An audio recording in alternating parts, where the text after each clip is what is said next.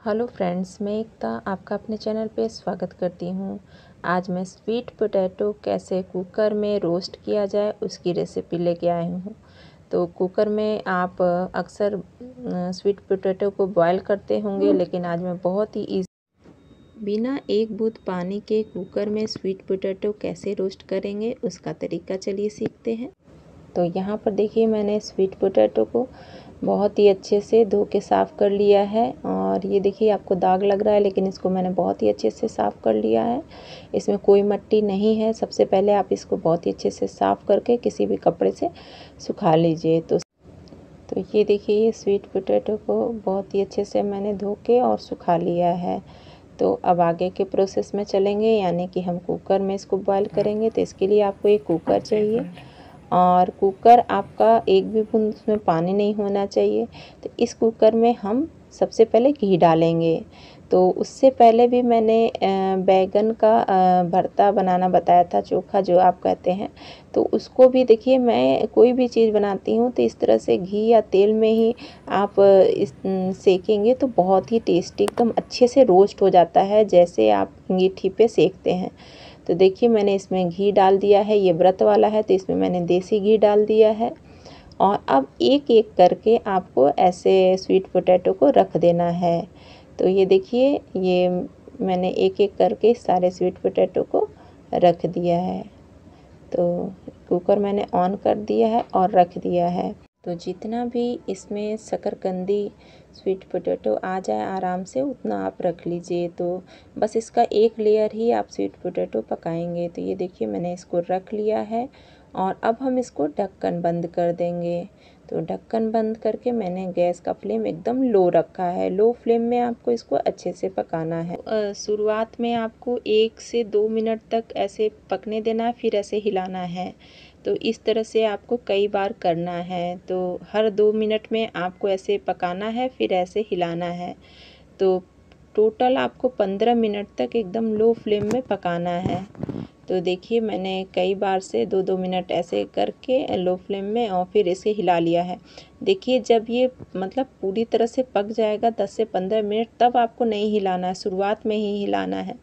ये देखिए कुकर सीटी दे चुका है और इसके में जब सीटी दिया है तो आपको दिख रहा कुकर के ऊपर इस तरह से आपको आ, सीटी दिया है। तो इसमें इसमें देखिए मैंने एक भी बूंद पानी नहीं डाला था और आपको मैं खोल के दिखा रही हूँ कि इसमें एक भी बूंद पानी नहीं डाला था केवल ये भाप से पका है और इसमें जो घी था वो देखिए पूरा घी जो है अच्छे से सूख लिया है।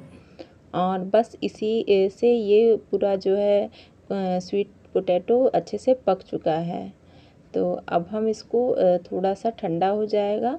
तो एक एक करके हम इसको निकाल लेंगे।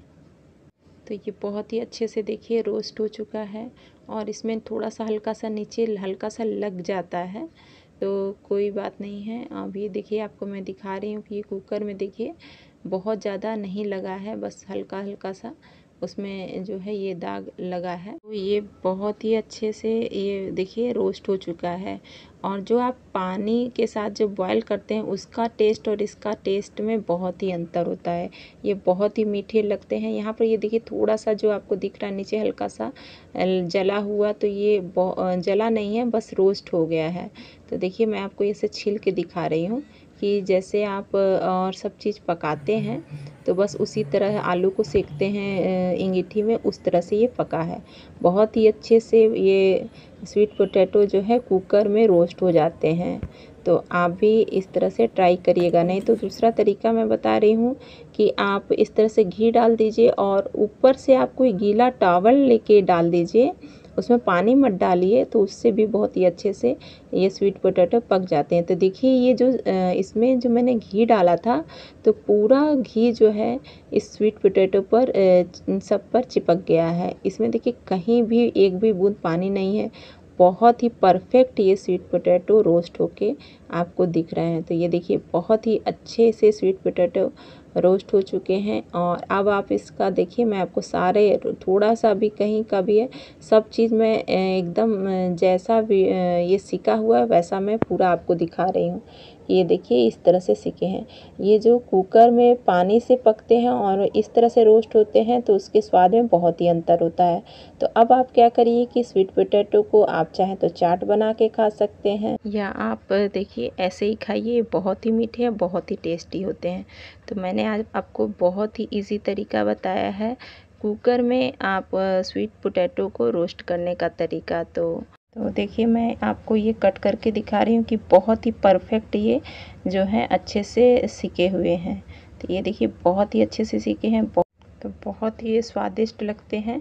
तो आप चाहें तो इस तरह से भी खा सकते हैं, नहीं तो आप इसको छोटे छोटे टुकड़ों में कट करके और आप इसमें काली मिर्च, सेना, नमक डाल के, नींबू डाल के खा सकते हैं। बहुत ही टेस्टी चाट होता है।